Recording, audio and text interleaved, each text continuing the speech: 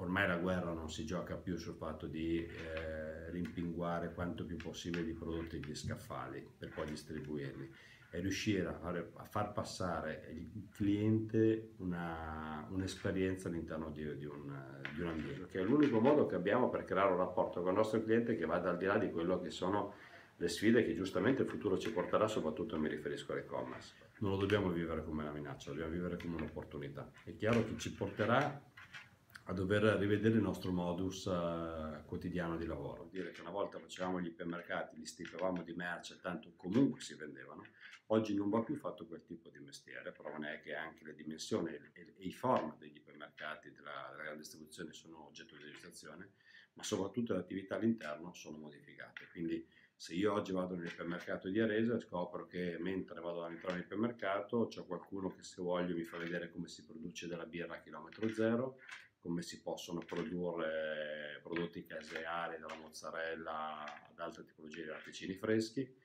piuttosto che la lavorazione diretta delle paste fresche, piuttosto che la lavorazione diretta delle carni. Vuol dire che il cliente che viene da noi, che ha del tempo da dedicarsi e da dedicarci, ha la possibilità di fare un percorso, cioè, però effettivamente è quello che fa la differenza.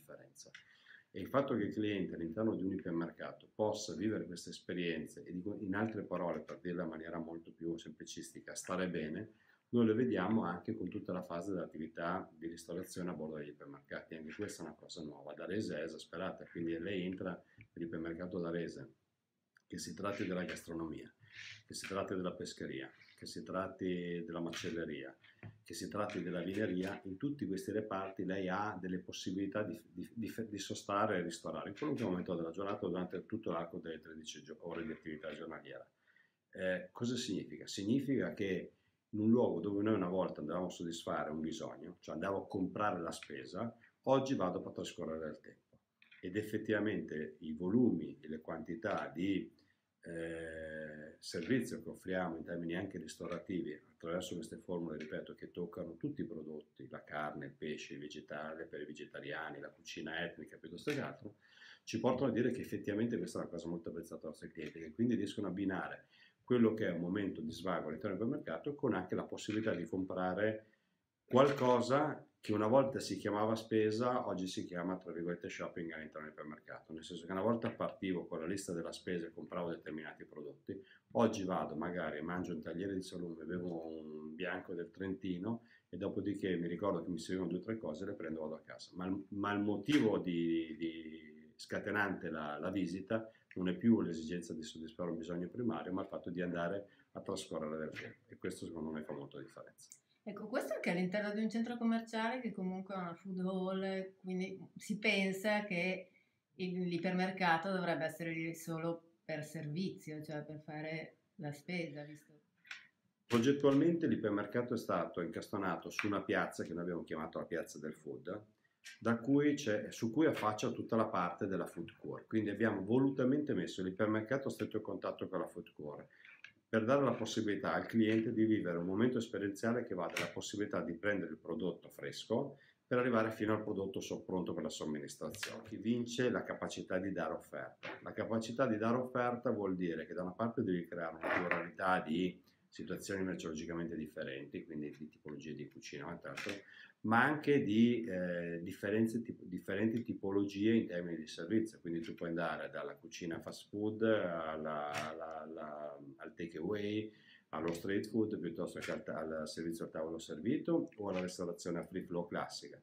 In questo genere di ventaglio di opportunità anche l'ipermercato alla fine non fa null'altro che, che implementare questo tipo di offerta creando a, a bordo di se stesso tanti ristoranti potenzialmente come se fossero a loro volta una food competi- in competizione uno con l'altro. Il nostro mondo va rivisto. Eh?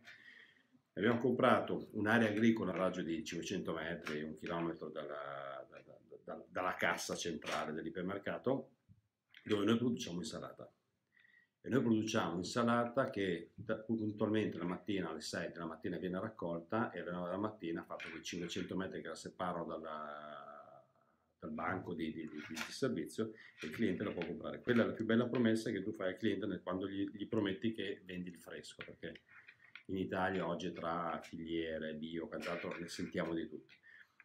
Noi dobbiamo diventare professionisti che dobbiamo prenderci questi impegni di passare da un concetto di meri distributori a produttori, di riuscire a farlo con qualità, con professionalità, con, con un percorso certificato, ma soprattutto di farlo davanti agli occhi dei clienti. Ecco, un modello che funziona, quindi sarà replicato? Dove? Numeri alla mano, sicuramente funziona perché siamo molto molto soddisfatti di Arese sul fatto che venga replicato per quanto riguarda l'ipermercato sicuramente sì, noi abbiamo 27 ipermercati di gruppo e quindi con i 27 ipermercati tutte quelle che sono le tendenze e comunque la visione vengono replicate su tutti i 27. Oggi a resa sulla bocca di tutti perché è un po' l'apice dei nostri ultimi sforzi di questi anni, ma sicuramente poi tutti i successi e le esperienze virtuose di Aresa verranno trasferite anche sugli altri ipermercati.